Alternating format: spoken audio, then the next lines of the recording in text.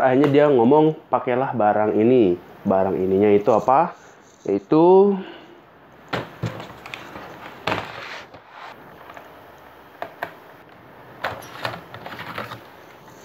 Jadi inilah barang yang menyelamatkan laptop ini dari gua jual.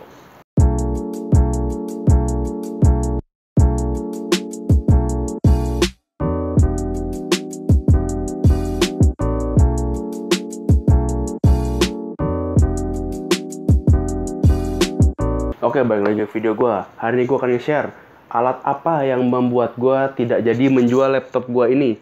Penasaran? Langsung kita mulai aja ya. Jadi ini adalah laptop HP Pavilion 14 inch. Gue kurang tahu ini detailnya, cuman chipsetnya i7 4510U, VGA-nya GeForce 840M. Waktu itu gue dibeliin orang tua gue laptop ini dengan harga sekitar 9 atau 10 jutaan di, di awal tahun 2015. Berarti udah spek yang cukup di mid ya, nggak terlalu low, tapi sudah cukup bagus. Waktu itu gue dapat Windows 8, udah langsung bawaannya. Gue pakai pakai pakai normal semuanya tidak ada masalah. Sampai waktu itu di tahun 2016 Windows mulai mengeluarkan namanya Windows 10 dan semua OS Windows itu dapat upgrade gratis. Waktu itu 8 gue tiba-tiba berubah download sendiri jadi Windows 10 ya gue waktu itu belum memperhatikan dunia-dunia gadget-gadget gitu ya gue upgrade Windows 10 berarti oh bagus ya udahlah install aja jalan-jalan jalan-jalan mulailah gue waktu itu ketemu skripsi. Gue waktu skripsi gue sudah mulai banyak berhubungan dengan laptop ya, buka tutup, buka tutup kerjain, buka tutup, buka tutup, buka tutup. Ada satu titik di mana gue kena ngerasa bareng teman gue nyalain laptop, kok dia udah kerja duluan, gue masih lelet. Padahal kalau secara spek laptop dia cuma waktu itu 4 jutaan atau 5 jutaan, speknya udah lama banget. Sedangkan gue laptop yang baru, speknya lebih di atas, tapi kok lebih lelet boot up-nya untuk nyalanya. Oke lah, waktu itu gue tidak merasa penting-penting amat lah untuk boot yang cepat itu. Tapi waktu pas gue mulai kerja, gue mulai berhubungan dengan laptop setiap hari. Laptop setiap hari itu mulai jadi mengganggu buat gue. Datang pagi-pagi, nyalain, tunggu lama, gue bisa kerjain yang lain-lain dulu, baru bisa ngeklik. Tapi itu jadi masalah waktu gue buru-buru. Apalagi waktu tesis itu juga buru-buru, ngeklik, ngebuka, nungguin lagi, nungguin lagi, nungguin lagi.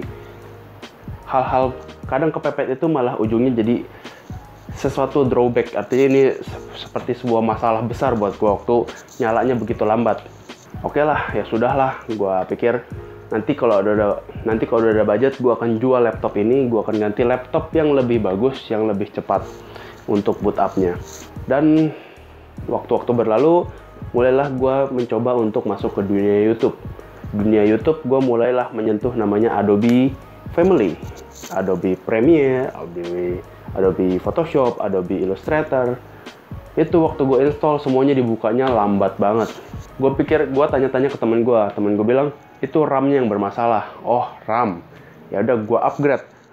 Buat yang belum tahu RAM bawaannya ini adalah 4 GB. Gue pikir langsung dengan sesuai spek yang ada, dengan sesuai spek yang langsung mentokain aja lah. Gue naikin ke 16 GB jadi dari satu dari satu channel 4 GB gue langsung ganti 2 kali 8 GB waktu gue nyalain memang boot upnya jadi lebih cepat di situ gue seneng. Ngebuka aplikasi apa pun jadi lebih cepat dari biasanya. Ya jadi lebih cepat dari biasanya. Cuman tetap aja ternyata lambat ini gue kasih videonya untuk proses boot up dari on sampai gue bisa ngeklik untuk mulai kerjaannya.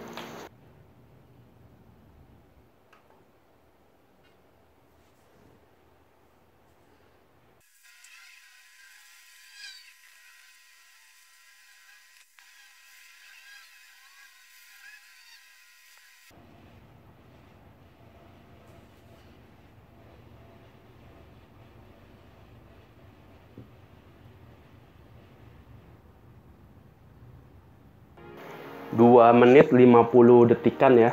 Itu udah hampir 3 menit. Kalau lu misalnya nyalain terus sambil kerjaan yang lain-lain itu mungkin terasa cepat. Tapi kalau yang terburu-buru nunggu 3 menit itu lama banget. Apalagi kalau lagi ada hal-hal penting. Terus mulai lagi gue nanya ke temen gue ini gue udah upgrade RAM-nya apalagi sih yang bikin lelet? Ternyata Windows 10 itu memang aplikasi yang cukup berat untuk dioperasikan. Ujungnya jadi proses nyalainnya itu cukup lama. Jadi solusi dari dia adalah namanya ganti dengan SSD. Sedangkan bawaan ini adalah harddisk 1 terabyte. Oke ganti SSD gue searching di online. Baru lihat langsung nggak jadi. Karena harganya itu mahal banget ya. Jadi buat yang belum tahu 1 terabyte dari harddisk itu harganya 600 ribu. 600 itu 600 ribu itu setara dengan apa? Setara dengan seperempatnya size dari SSD. Jadi kalau lu pengen dapetin SSD seukuran tera seharddisk atau 1 terabyte itu harganya sekitar 2 juta kurang dikit atau 2 juta lewat dikit. Itu udah mahal banget. Gue nggak sanggup di situ. Terus bisa nggak gue pasang SSD dan harddisk? Dia bilang nggak bisa. Lu kalau mau pasang harddisk ya harddisk aja SSD ya SSD aja. Jadi gue mengurungkan niat itu apalagi license Windowsnya ada di harddisk. Jadi gue agak takut untuk mengganti karena gue harus install Windows palsu perkiraannya waktu itu waktu berlalu waktu berlalu waktu berlalu ujungnya gue ketemu teman gue yang bagian komputer juga dia cukup pintar akhirnya dia ngomong pakailah barang ini barang ininya itu apa yaitu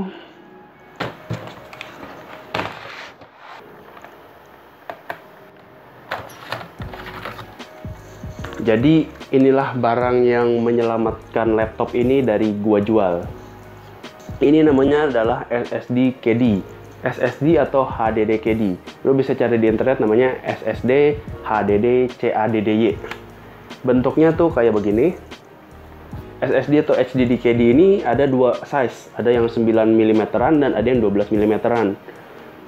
Milimeternya itu bedanya di mana? Itu bentuknya di sini bedanya. Kalau 9 mm tipis, 12 meter, 12 mm lebih tebal. KD ini adalah fungsinya mengganti dari fungsi DVD driver menjadi kapasitas penyimpanan tambahan. Jadi buat lo yang pengen nambah. Jadi buat yang lo pengen beli SSD KD ini, pastikan laptop lo itu punya DVD eh, driver kayak gua. SP ini ada DVD driver yang gue pakai cuman buat burn CD waktu bikin skripsi. Habis itu nggak kepakai sisanya. Jadi dia bentuknya kosong dan sini ada kapasitas penyimpanan yang lo mau taruh. Kalau yang gue pasang adalah hard disk bawaan dari laptopnya yang gue tuker.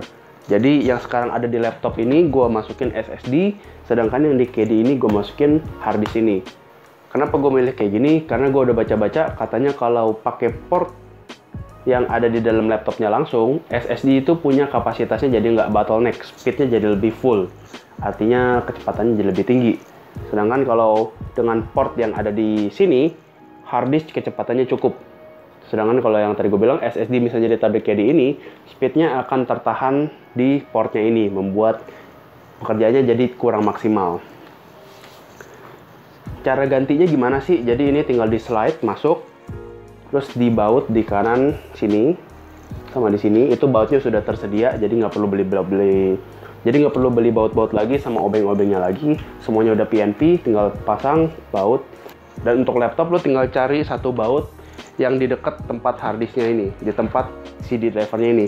Buka satu baut, langsung keluar kayak begini. Keluarin DVD driver lu, cabut covernya ini, sama bracketnya ini untuk baut. Udah, semuanya langsung PNP, lu tinggal colok pasang, baut selesai. Dan setelah gue pasang KD ini, kecepatannya lu bisa nonton di video,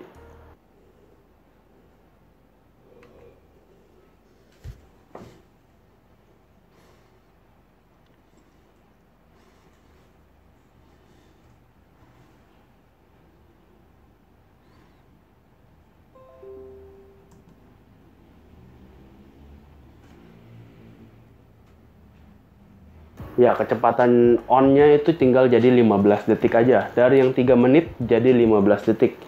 Itu hampir sekitar berapa kali lipat? Satu kecepatannya berarti meningkat 12 kali lipat untuk proses boot up-nya. Bayangin, hanya dengan satu barang ini gue langsung gak jadi jual laptop gue karena kecepatannya langsung meningkat 12 kali lipat. Buat yang penasaran harganya berapa? Gue beli KD-nya ini dengan langsung paketnya SSD 120 GB itu 400 80.000 sekarang harganya kayaknya 430 440 ribuan dengan uang segitu laptop-laptop lama lu gue jamin performanya hampir sama kayak laptop-laptop yang baru-baru ini sekarang terus mungkin lu nanya abis dipasang udah dong langsung kecepatannya naik oh enggak enggak kayak gitu ya karena OS-nya masih tersimpan di hard disk. Jadi lu harus pindahin OS-nya itu ke SSD. Biasanya pertama habis lu pasang, pasti dia akan nggak kebaca dulu. Dia akan, laptop lu nggak akan ngedetect kalau ada kapasitas penyimpanan tambahan. Untuk kapasitas penyimpanan tambahannya lu mesti buka lagi. Itu ada di disk management.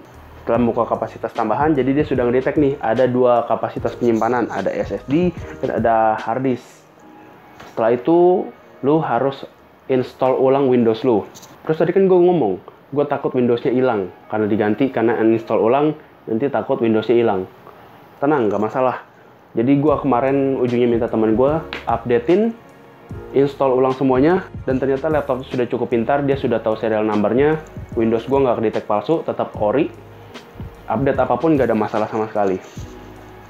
Jadi akhirnya gue berencana untuk memperpanjang pemakaian laptop gue mungkin 2-3 tahun ke depan sampai 2021 atau 2022 karena performanya sudah hampir sama kayak baru lagi cuman karena dengan tambahan 500 ribu daripada gue harus beli laptop yang harganya 10 juta ke atas lagi untuk performa yang hampir sama dengan gue mengganti 500 ribu aja oke untuk video ini gue rasa cukup semoga lo terbantu kalau lo suka boleh like kalau nggak suka boleh dislike share kalau emang video ini cukup membantu buat lo atau mungkin buat teman-teman lo yang membutuhkan kalau suka dengan video gue atau mau bantu support gue, boleh bantu subscribe. Gue Vincent, thank you for watching.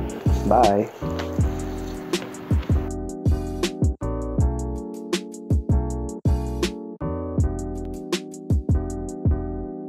Sama dengan Rp10.000, lo bisa meningkatkan performa lo kembali seperti awal pertama lo beli laptop lo. Penasaran? Tetap pantau terus channel gue ya.